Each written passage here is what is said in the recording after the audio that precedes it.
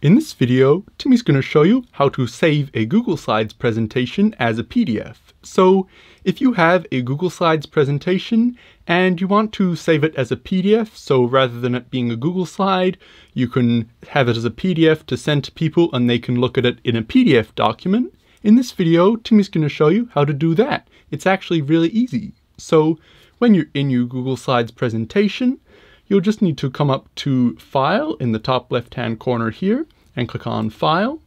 And then come down and hover over Download. And now you'll get this little menu out to the side. And you'll just need to click PDF Document in this menu.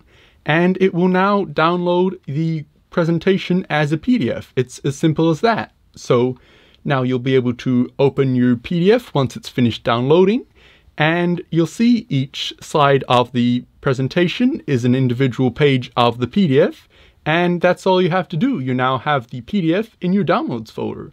So that's really cool.